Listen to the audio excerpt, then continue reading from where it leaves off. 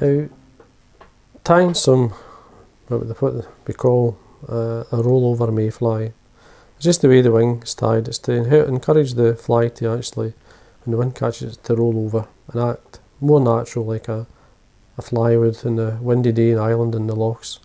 It's an unusual style fly, but it works extremely well. If you ever go into Ireland and you want to fish the lochs, and there's mayfly coming off, this is a, is a good pattern. Now this is a Patsy Deery fly as far as I believe and uh, it's a good it's a good fly, it's a good pattern because I, I get asked for it quite regular. Now hook choice is up to yourself.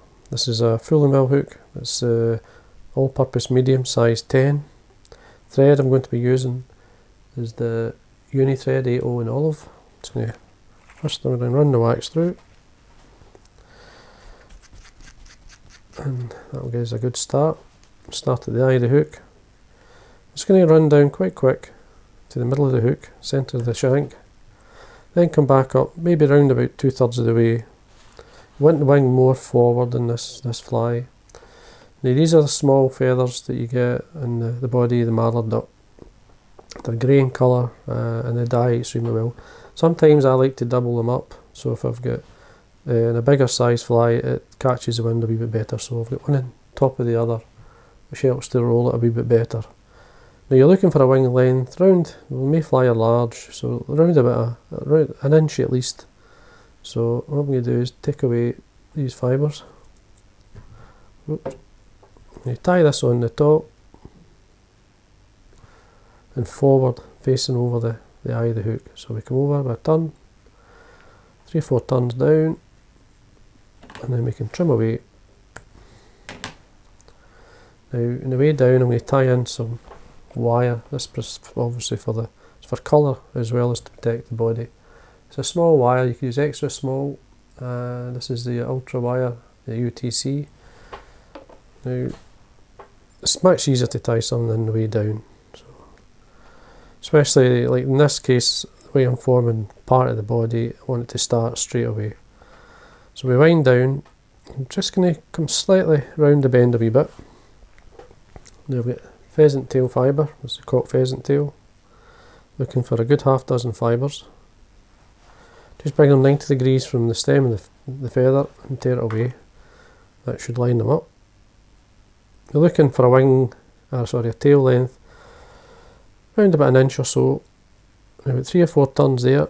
Now we're going to use the waste ends to form part of the body. So I'm going to come up maybe a couple of mil the pheasant tail fibre is weak, so the best way to protect it is to wind, quite wind it the opposite way, so when I wind the rib up th through the normal way, it holds it better. So just looking for three or four tons of the pheasant tail fibre. Just take your time. Again, to tie it off, we come across the fibre, tight, onto the hook, we turn, do the same again, and again and then I'm going to just take it up. Just take your time. Make sure you tie it in. Trim away the waste just tidy that up and come back down for the body.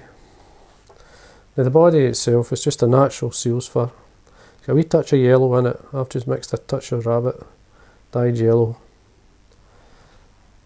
maybe only 2 or 3% yellow, the most of it's just, it's like a light Cahill if you're going to use a, a dubbin. A light Cahill's good. So we slide this up. Then we just form our body, we just, as we wind up, we tighten up some sort of taper.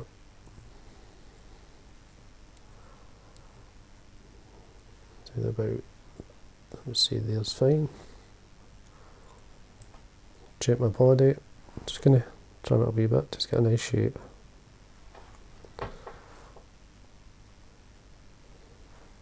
You don't have to do this.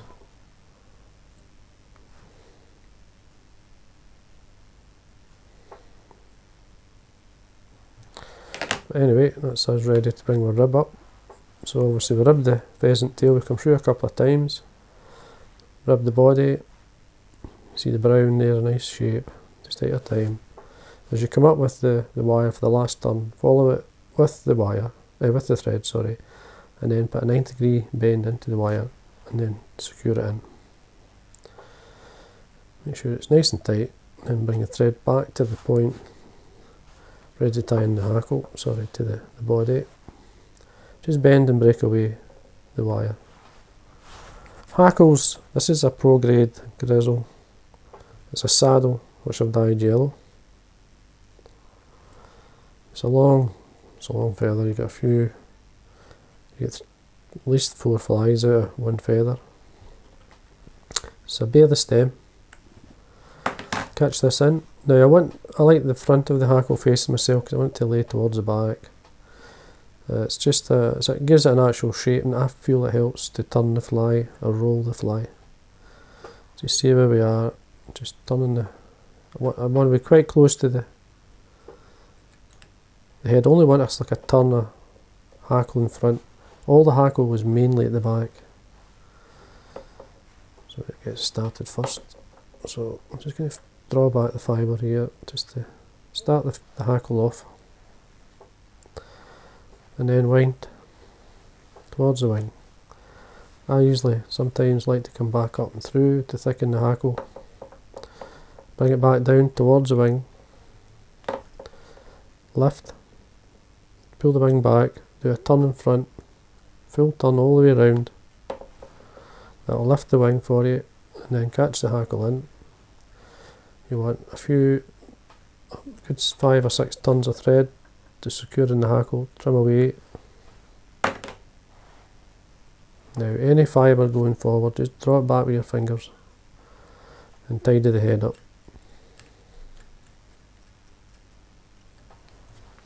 And then we can finish.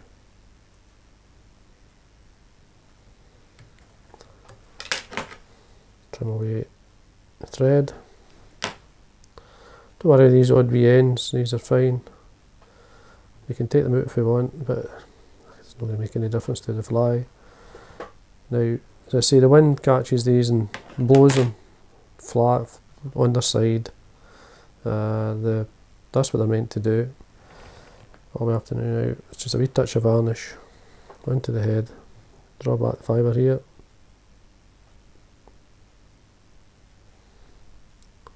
And there we are that's a, a rollover mayfly. As I say, it's a, an unusual pattern to a lot of people, but it's certainly worth having, uh, pulling some of these fibres out. If you're fishing the Lochs of Ireland and there's a mayfly hatch, it's a pattern should, I would recommend having in your box. And there's some nice tying methods within the fly. So anyway, I hope you enjoyed that, and that's the rollover mayfly.